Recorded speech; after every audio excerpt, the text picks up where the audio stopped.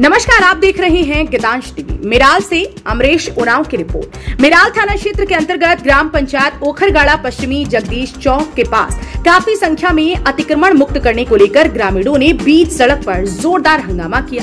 उक्त विषय के संबंध में हम आपको बताते चले कि ग्रामीणों का कहना है, अतिक्रमण की वजह से सड़कों पर पानी का जमाव हो रहा है, जिसके कारण सड़कें खराब हो रही हैं, जिसका खामियाजा आम जनता को भुगतना पड़ रहा है। ग्रामीणों का कहना है की अतिक्रमण की वजह से जिन सड़कों पर पानी का जमाव हो रहा है। उस सड़क से लगभग 12 गाँव के लोग आते जाते हैं। सड़कों पर पानी जमाव की वजह से सड़क की स्थिति एकदम जर्जर हो गई है। स्थानीय ग्रामीणों ने अतिक्रमण मुक्त करने की मांग की है। उप प्रमुख तथा मुखिया प्रतिनिधि ने मामले को शांत कराया। ग्रामीणों के बीच पहुंचकर मुखिया प्रतिनिधि रविंद्र कुमार गुप्ता तथा उप प्रमुख ने मामले को शांत कराया।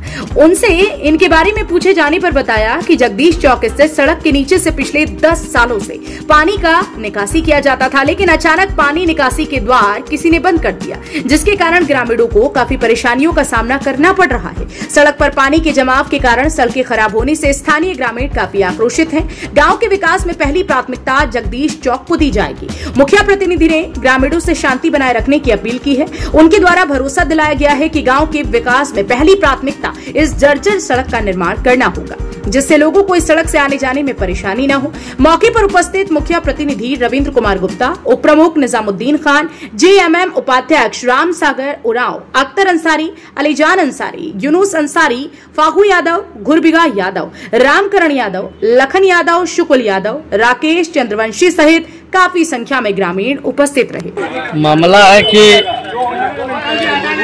आज कई वर्षों से ये पुल बना है और ये पुल के बगल से आहरा में पानी जाता था।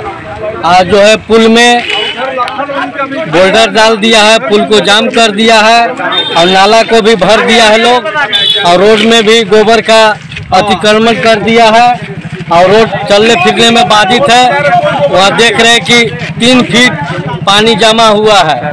आदमी को पूरे आने जाने में परेशानी है और यहाँ से दलेलिए भर के आदमी का परेशानी नहीं है।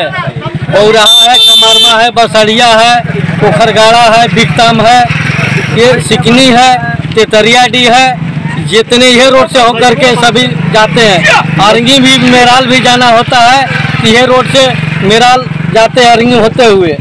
इसलिए इस रास्ते से आठ दस टोला या बारह टोला से कम नहीं है है यही ना। हाँ। दस बारह टोला से कम नहीं है इसे विलम्ब करता है आता जाता है और इसको जितना जल्दी बन सके प्रशासन द्वारा या इधर समाज के द्वारा इसको क्लियर होना बहुत आवश्यक है और पर्व त्यौहार भी लगने आ रहा है। और दलीली नहीं दलीली दिल्ली से बात करता है। इसलिए उस सबसे हम लोग को सावधानी से रहना है। नाम का हुआ आपका? रविंदर कुमार गुप्ता पूर्व मुखिया मुखिया पति मेरा नाम राम सागर बुरा होगा। ऐसे जेएमएम का जिला उपाध्यक्ष हुए। क्या है मैटर? मैटर यही रोड का है रोड में पानी भर जा रहा है। तो हम लोग यहाँ एकत्रित हुए हैं कि पानी को किस तरह निकाला जाए और कैसे वो निकलेगा वो। इसीलिए हम लोग जो है यहाँ तीन पंचायत के लोग यहाँ खड़े हैं रोडे पर भैंसों का और हमारे साथ पोखरा पंचायत सभी लोग जुटे हैं कि इसका समाधान कैसे निकालें तो क्या निष्कर्ष क्या निकला? मैटर निकल गया कि भाई इसका जो पहले से पानी निकलता था इसका एक पाइन भी है उस पाइन को साफ़ करा के जो है निकाला जाए। हाँ निकाला जाए उसको। और बगल में जिनका घर है उनका मांग है कि भाई उसको पाका का बना करके निकाला ताकि हम लोग का घर फंसने नहीं। वो भी तय हो चुका है। जो भी नाले निकलेगा उसको पक्का बना करके उसको निकाल दिया जाएगा। अभी फ़िलहाल के लिए